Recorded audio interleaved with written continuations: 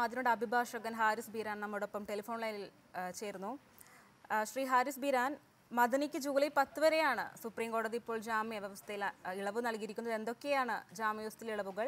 എന്നത്തേക്കാണ് അദ്ദേഹത്തിനെ കേരളത്തിലേക്ക് എത്തിക്കുന്നത്?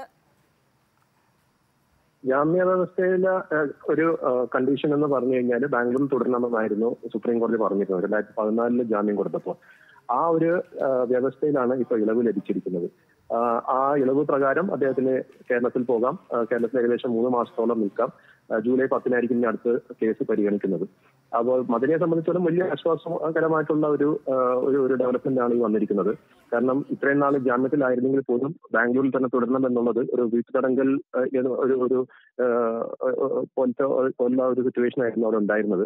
ആ ഒരു സ്ഥിതിവിശേഷത്തിന് മാറ്റം വന്നുകൊണ്ട് ഇപ്പോൾ കേരളത്തിൽ അദ്ദേഹം അദ്ദേഹത്തിന്റെ വീട്ടിലേക്ക് വീട്ടിലേക്ക് പോകാം എന്നുള്ളത് വലിയൊരു ആശ്വാസം തന്നെയാണ്.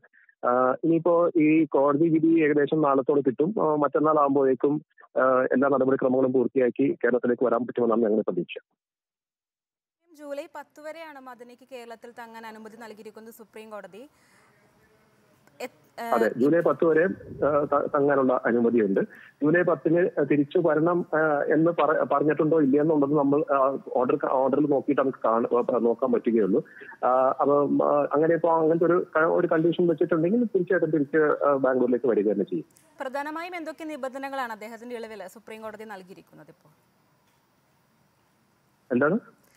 പ്രത്യേകമായിട്ട് എന്തൊക്കെ പ്രധാനപ്പെട്ട നിബന്ധനകളാണ് മദനിക്ക് അനുവദിച്ചിരിക്കുന്ന ഇളവിൽ ഇപ്പോൾ സുപ്രീം കോടതി ചൂണ്ടിക്കാണിക്കുന്നത്. നിബ- നിബന്ധന നിബന്ധന എന്ന് പറയുന്നത് കേരളത്തിലേക്ക് പോകാനുള്ള അനുമതി ആ അനുമതിയിൽ കർണാടക പോലീസിന്റെ എസ്കോർട്ട് ഉണ്ടാകും ആ എസ്കോർട്ടിന്റെ ചെലവ് വഹിക്കണം എന്നുള്ളതാണ് ഒരു നിബന്ധന വെച്ചിരിക്കുന്നത്.